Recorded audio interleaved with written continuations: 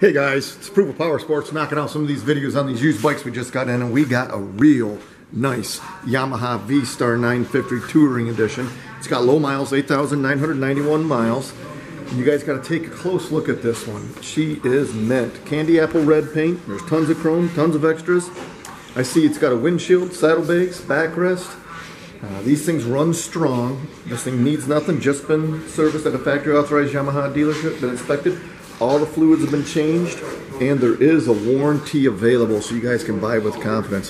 One good looking V-Star 950 Touring. Guys, keep an eye on our website, our YouTube channel, our Facebook page. It's approvalpowersports.com.